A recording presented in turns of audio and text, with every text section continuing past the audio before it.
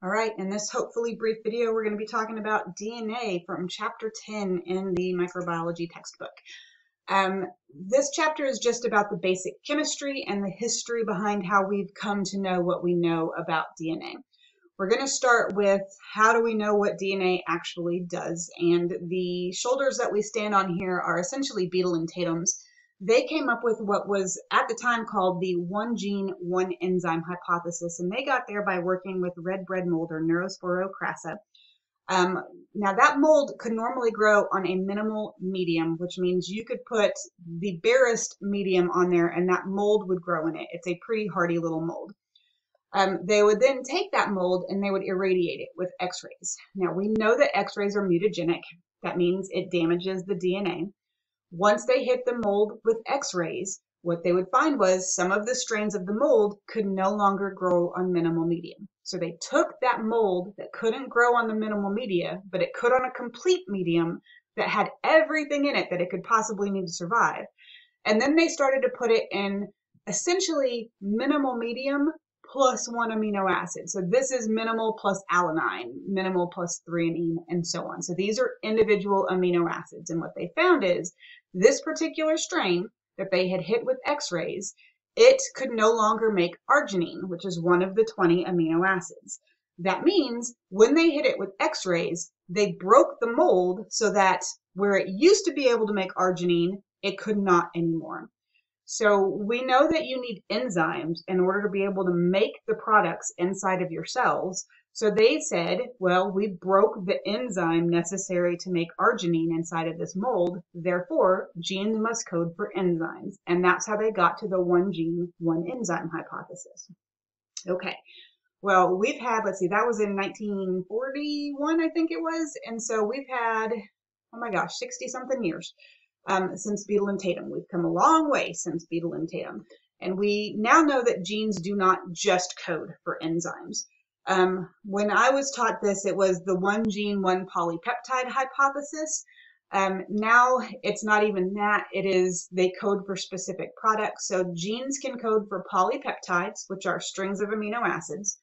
Um, genes can also code for specific RNA products like mRNA, tRNA, rRNA, small nuclear RNA, whatever. They can code for a bunch of those different things as well. So they don't just code for proteins, they can also code for specific nucleic acid products as well. Um, since I was taught the one gene, one polypeptide hypothesis, that's still what I'm kind of giving y'all, but just know they don't just code for proteins or polypeptides. They code for more than that. The next section of your textbook starts to talk about how did we learn that DNA even was the genetic material? Um, back in the 1920s, we had made it to the point in the debate where it was either proteins that were your genetic information or it was DNA. Most biologists thought it was protein because proteins are so much more complex than DNA. I mean, there's 20 different amino acids. Your proteins can be thousands of amino acids long. They are just way more complex. Not to mention, there are so many different proteins that exist in your body. And so just intuitively it seemed like proteins were going to be your genetic information. But um, nucleic acids on the flip side, they only have four nucleotides that make up DNA. And so they seem so simple that it couldn't possibly be the genetic information. It's just too simple a molecule. Well, uh, Frederick Griffith back in the 1920s started to work with Streptococcus pneumoniae, which as the name implies, it is um, a streptococcal species that does tend to cause pneumonia. Um, it comes in two forms. A rough form, which under the microscope, the cells look like wrinkly or rough, and then a smooth form. Now the smooth form is smooth because it has a capsule. If you remember anything about the capsule from previous chapters, it's an additional layer that bacteria have that can help them evade your immune system. So the smooth strain is pathogenic because the cells can evade your immune system. The rough strain, on the other hand, your immune system can grab them and murder them no problem. So the rough strain, not pathogenic. Well, what Frederick Griffith did is he would take these strains and then heat kill them and then try to figure out if they could still kill mice because mice can be killed by strep pneumonia just like humans can if they aren't treated. So rough strain, not a problem. It's not pathogenic in mice, just like it's not pathogenic in people.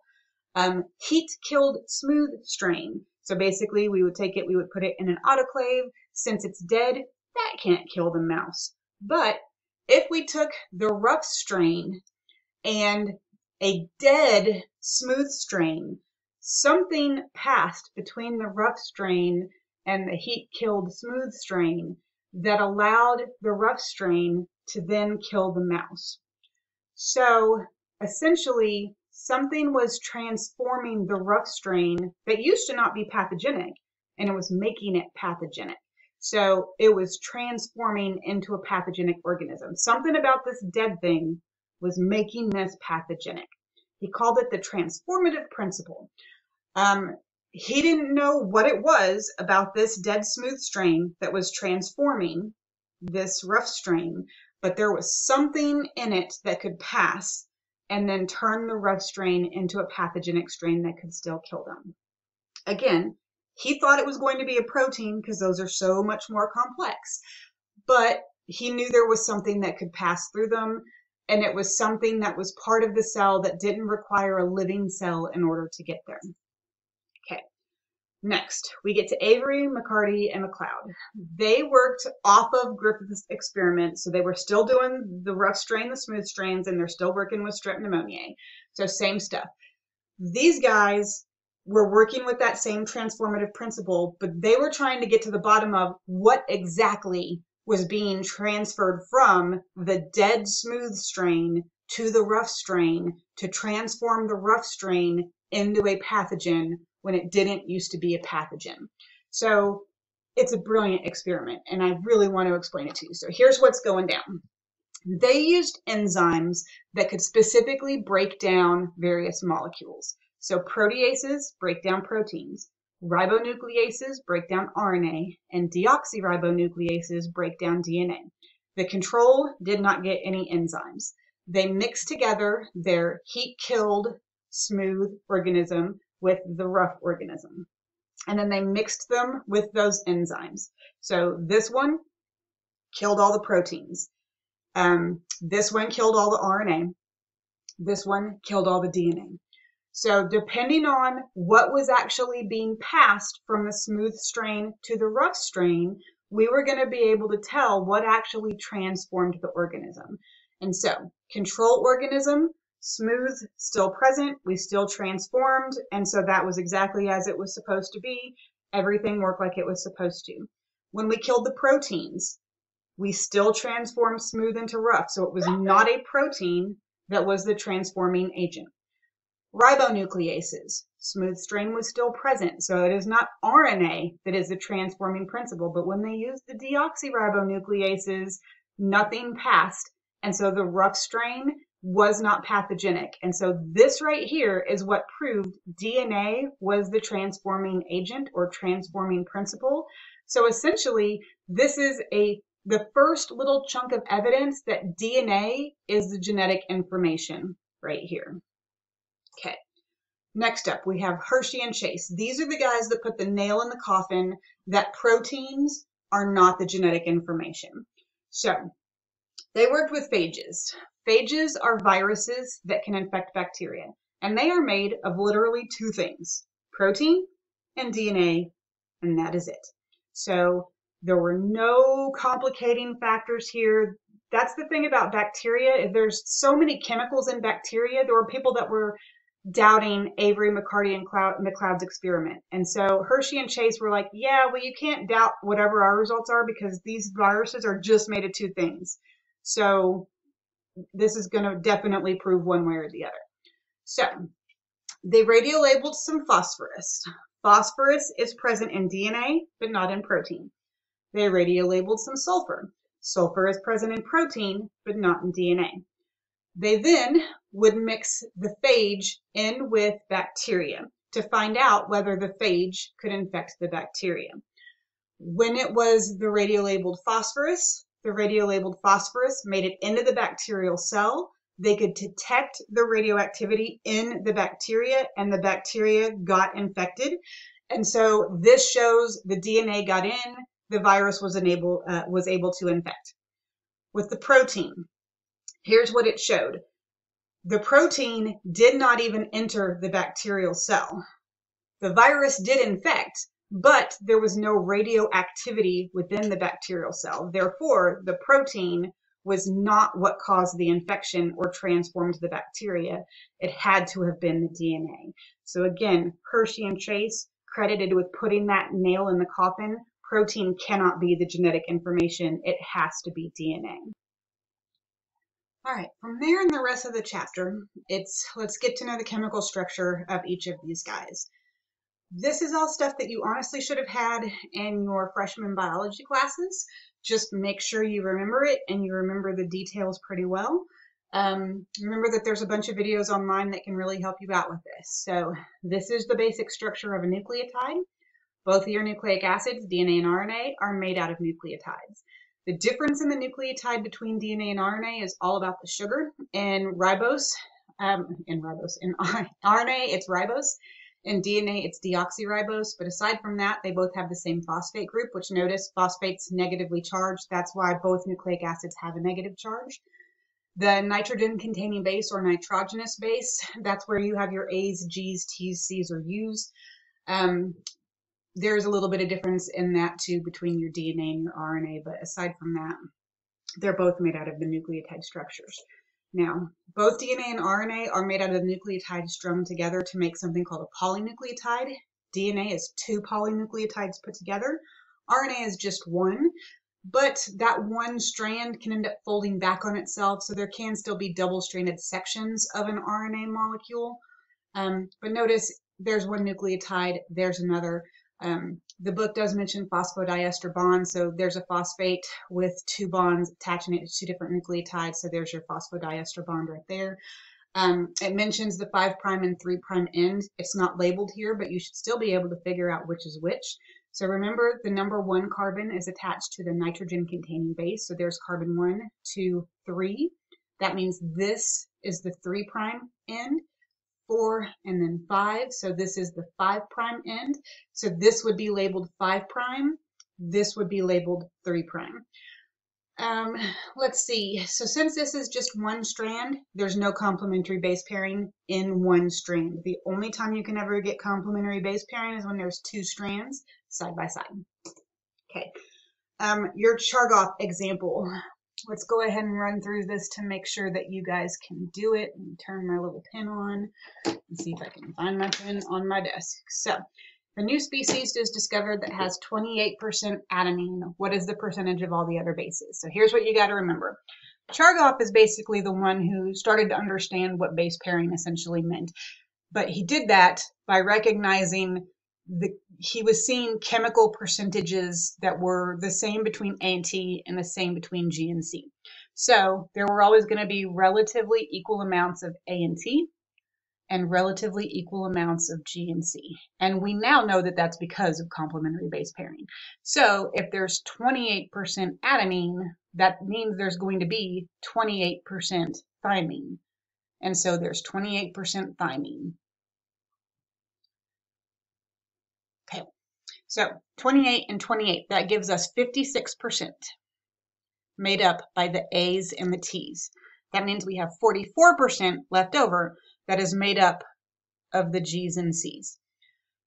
44 divided by 2 is 22, so that means we have 22% G and we have 22% C. So hopefully you guys got that. After that, I told you I didn't really love the pictures that are in your textbook, so I pulled this one from a genetics textbook. Um, I want you guys to get the, here it is, key features stuff. So two strands form the double helix. So there's one strand, there's two. It twists, there's the helix part.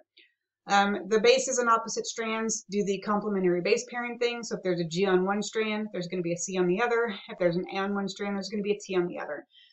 Um, the two strands are anti-parallel with regard to their 5' and 3' directionality. So what that means is if this one goes 3' to 5' in the upward direction, this one is going to go 3' to 5' in the downward direction. And there are about 10 nucleotides in each strand per complete 360 degree turn of the helix. All right, then you got these notes off over on the side. So since we have two strands side by side, first off, remember your super duper basics. When you have straight lines connecting things, that's a covalent bond. So a polynucleotide is made with covalent bonds. Those red lines that I just drew on there, those are your phosphodiester bonds. And remember that's your phosphate being held with two different bonds to two different sugars. Then the hydrogen bonds are represented with these dotted lines.